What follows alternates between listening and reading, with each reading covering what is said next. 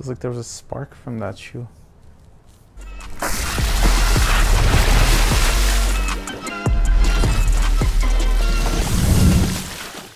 What's up guys, Vinny here with SneakrTweakr and welcome back to another video. Today we have our first impressions review on a very highly anticipated shoe, the Nike Sabrina 1. Now this shoe, once it was leaked, everyone was extremely hyped about it for good reason. Just from my initial wear, I really don't have many or if any bad things to say about it at all. That could very well change with more and more wear, but just from initially wearing it, I haven't really seen too many faults, if any, currently. This shoe along with Puma's Stu Stewie 2, I guess I would say the two well-known signature shoes for WNBA stars. I mean, I've played a little bit in the Stewie 2s already. I haven't gotten the chance to put too much time into it yet, but for me, these already just out of the box feel better. A lot of that has to do with just the tech Nike puts in there, the traction in these. I mean, the traction in those is pretty solid as well, but I think these, for me, at least from my experience, were a tad bit better. I mean, there was, I guess, not too much room to complain. Now, as many of you also know, Sabrina was pretty much a student of Kobe Bryant, rest his soul. And so therefore, not only did she probably most likely play in his signature shoes all throughout her career leading up until her signature shoe, but you can see where she gets design inspiration from and just the performance uh, or the tech inspiration as far as what's in this shoe. Again, this is a low cut shoe. It's minimalistic and it's for guards, quick on your feet. As always though, let's start it off with the traction. The Sabrina 1 features a multi-directional traction pattern which just goes throughout the whole shoe. It has some herringbone that just kind of swerves and then you have this middle strip that goes down middle of the shoe and that one is also multi-directional and from my initial wear it honestly gripped like crazy I didn't really have any issues with it and then on top of that had a very nice loud squeak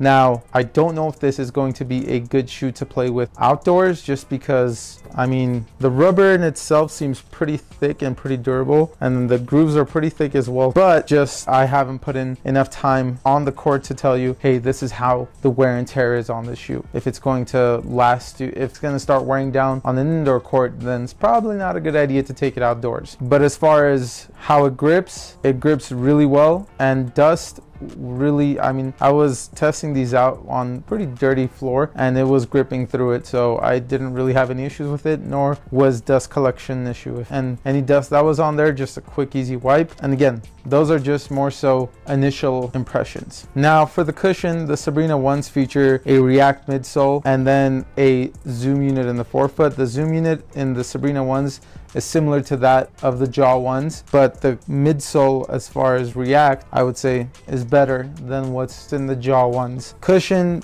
if you're quick guard and you, you really don't require too much cushion, just enough to not wear your knees down and just play the way you want side to side, I think these got you covered. I mean, for me, even at my age, I think just playing in this minimalistic cushion setup, I'm probably good to go. I was good to go on the Ja ones. So I don't see how this would be any different. Cushion, I'm gonna say, is probably going to be adequate. As for sizing, these are true to size from my experience. And if you go on Nike's website and you go into the men's section, the Sabrina ones, even though they are women's shoe, they're also listed in the men's section. So it'll automatically set it to whatever size you are in women's. And that way you don't necessarily have to go through and figure it out. But basic rule of thumb, it's about a size and a half difference from men to women. So for me, a size 9 would be in a women's size 10 and a half. Now, Puma is a little bit different.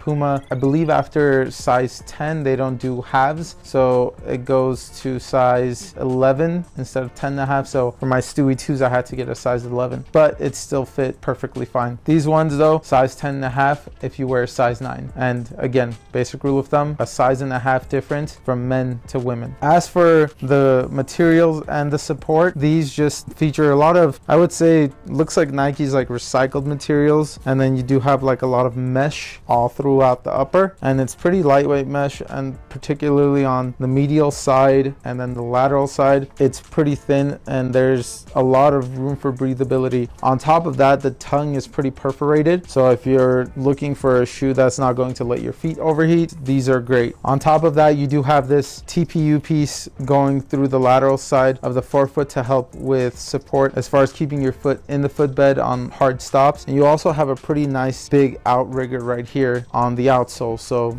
as far as stability and just keeping your feet flat on the ground these are money now for a size 9 men's or i guess a size 10 and a half women's these do weigh in about 12.7 ounces which is pretty damn light honestly. If weight matters to you, then these are one of the lighter shoes you're going to get in the size 9 and they're pretty minimalistic. So if you love Kobe's, if you love the Ja ones, pretty much all of Nike's line and people say, oh, uh, you you say that because you love Kobe's and stuff like that. No, Nike knows that people love Kobe's, so they're making a lot of their shoes like Kobe's because not only do the consumers love it, but all the NBA players that they have signed on love it. Devin Booker's shoes looks like a mixture of a bunch of different Kobe's together. Not saying that these shoes aren't good or anything like that, which I believe these are good. It's just you can tell where the inspiration's from. Again, 12.7 ounces for a size 9 and then these do retail for $130 so a lot of these signature shoes debut ones are retailing in higher than what they used to. They're used to